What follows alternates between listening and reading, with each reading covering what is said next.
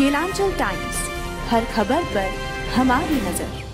Ghazipur border पर लाखों की संख्या में लोग अपनी मांगों को लेकर इकट्ठा हुए हैं, जहाँ जनसंख्या नियंत्रण कानून को लेकर बिहार में जनसंख्या समाधान फाउंडेशन की प्रदेश संगठन मंत्री नीतू सिंह से उनकी मांगों को लेकर केलांचल टाइम्स की टीम ने खास बातचीत की। देखिए इस खास रिपोर्ट में। नमस्कार, आप सभी का स्वागत है केलांचल टाइम्स में। और आज हम आए हुए हैं गाजीपुर बॉर्डर पे, जहाँ पे आप देख सकते हैं कि किस तरीके से लोग बैठे हुए हैं, इनका प्रोटेस्ट चल रहा है और लोग अपनी मांगों को लेकर के यहाँ बैठे हुए हैं और इसी बीच हमारे साथ मौजूद हैं नीतू जी। पहले तो हम आपका परिचय जानेंगे। मैं नीतू सिंह, बिहार प्रदेश संगठन मंत्री, जनसंख्या समाधान फाउंडेशन से हूँ। तो जैसा कि आपने जाना कि अभी नीतू जी भी हमारे साथ हैं तो आज हम इनसे जानेंगे कि ये जो प्रोटेस्ट चल रहा है, जो लोग आए हुए हैं, अपना काम छोड़ के लोग यहाँ बैठे हुए हैं, उनकी आखिर मांगे क्या है, वो हम नीतू जी से जानेंगे। तो मैम, जो यहाँ लोग बैठे हुए हैं, इतनी काफ़ी तादाद में लोग बैठे हैं तो इनकी मांग क्या है, किस वजह से बैठे हैं? देखिए, हम लोग चाहते हैं कि जनसंख्या समाधान हो, जनसंख्या नियंत्रण कानून लागू हो, इसके लिए पूरे भारत से हर प्रदेश से लोग, चूँकि हमारी टीम आम लोगों में जा कर के हस्ताक्षर के तहत लोगों का राय जानना चाहिए कि कितने लोग समर्थन में है जनसंख्या के, नियंत्रण के। और हम लोग पूरे भारत से 80 करोड़ हस्ताक्षर लेकर यहाँ पे आए हुए हैं, जिसमें बिहार प्रदेश से भी हम लोगों ने 20 लाख हस्ताक्षर लेकर के यहाँ पे आए हुए हैं।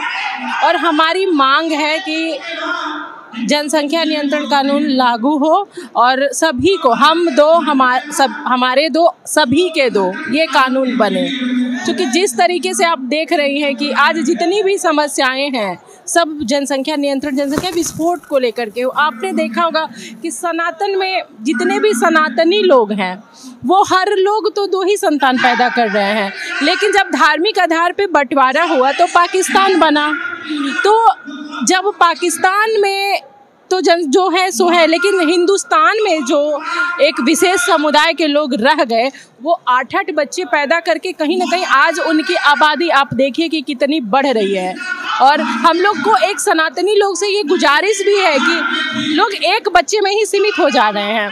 तो कम से कम सभी लोगों को ये संदेश भी देना है कि जितने भी सनातनी लोग हैं, कम से कम दो बच्चे अवश्य पैदा करें। और साथ ही सरकार कम से कम ये कानून लाए कि हम दो, हमारे दो और सभी के दो। क्योंकि जिस तरीके से ये विशेष समुदाय के लोग आबादी को बढ़ा रहे हैं, उसी के कारण इतना जनसंख्या विस्फोट है। आप देख ही रही हैं कि कैसे आबादी बढ़ती जा रही है। तो कहीं ना कहीं ये खतरा है, पर्यावरण के लिए भी खतरा है। आप बहुत दुख की बात है कि चीन को भी पीछे छोड़ करके हम लोग एक नंबर पे आ गए हैं। भारत एक नंबर जनसंख्या के दृष्टिकोण से, जबकि क्षेत्रफल के दृष्टिकोण से हमारे देश की आबादी कम से कम अस्सी, बीस करोड़ होनी चाहिए। लेकिन अभी 140 करोड़ हम लोग पार कर गए हैं। तो बहुत दुख की बात है। प्रधानमंत्री जी से हम लोग का यही मांग है कि जल्द से जल्द जनसंख्या नियंत्रण कानून लागू। इसमें आम पब्लिक भी प्रधानमंत्री जी का बढ़ चढ़ के समर्थन कर रही है, जिसका हम लोग पूरा हस्ताक्षर लेकर के और प्रधानमंत्री जी को अवगत कराना चाहते हैं कि आम जन भी इस मांग को लेकर के कितनी उत्सुक है, कितना लोग चाहते हैं कि ये कानून जल्द से जल्द लागू हो। जैसा आपने कहा कि विशेष समुदाय है, वो बहुत ज़्यादा बच्चे पैदा कर रही है। तो ये जो आप लोगों ने एक मुहिम चलाई है, हम दो, हमारे दो, सबके दो तो ये जो मुहिम चलाई तो आपको लगता है कि जो दूसरे समुदाय के लोग हैं, वो भी इस इस जो आपने मुहिम चलाई, उसका बढ़, उसमें मतलब हिस्सा बनेंगे? देखिए, बनना चाहिए। समझदारी इसी में है, बनना चाहिए। क्योंकि हमने सभी लोगों के लिए कानून है कि, और जब कानून बनेगा तो लोगों को पालन करना तो होगा।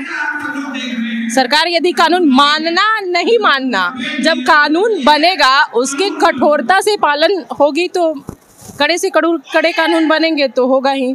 मतलब आप ये कहना चाह रही हैं कि जब कानून बनेगा तो सभी को ना चाहते हुए भी मानना ही पड़ेगा कि आप लोगों को हम दो, हमारे दो वाला जो कानून है वो अपनाना पड़ेगा, ताकि ये हो कि जो हमारा अभी ये जनसंख्या विस्फोट हो रहा है, जिससे कि आप देखते हैं कि पढ़ाई करने के लिए भी अब लोग अच्छे स्कूलों में बच्चों को नहीं डाल पाते, क्योंकि वहाँ पर ऑलरेडी सीट बुक हो जाती है सारी।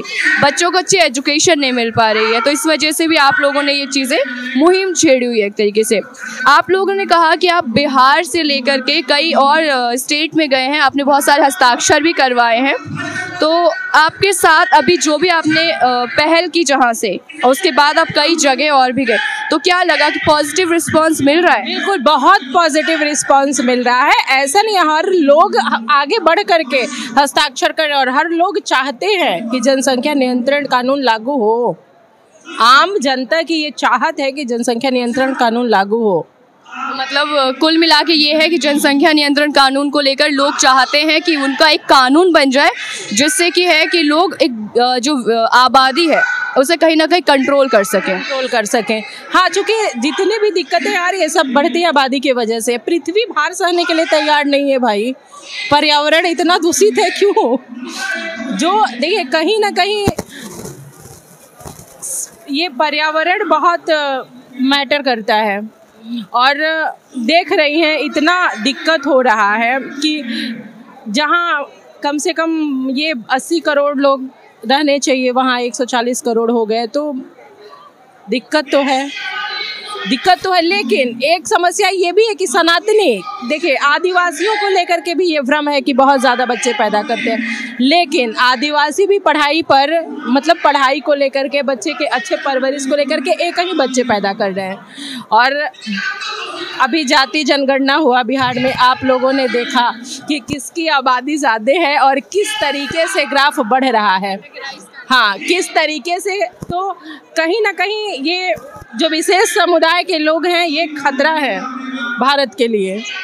तो मतलब आपने जाना कि किस तरीके से विशेष समुदाय या फिर यूँ कहे कि जो कम पढ़े लिखे लोग हैं, वो भी आबादी विस्फोट में लिखे नहीं कह सकते। मैंने कहा ना कि आदिवासी जिनके विषय में ये प्रचारित है कि शिक्षा के अभाव में बहुत ज़्यादा जनसंख्या है लेकिन उन लोगों ने भी कंट्रोल किया है। उन लोगों ने भी बच्चों की अच्छी पढ़ाई हो इसके लिए आप देखिए तो जनसंख्या कंट्रोल है। लेकिन ये साजिश के तहत आठ आठ बच्चे पैदा करना ये एक साजिश है। जहाँ ये लोग हाँ। यूँ कह सकते हैं कि वो अपने कौम को बढ़ाना चाहते जी बस यही अपने कौम को बढ़ाना चाहते एक ही तो देश है सनातनी। मतलब उसे भी सब लोग जहाँ तीस परसेंट से ज़्यादा आबादी होती है बस अलग देश की मांग हो जाती है। केलांचल टाइम्स हर खबर पर हमारी नज़र।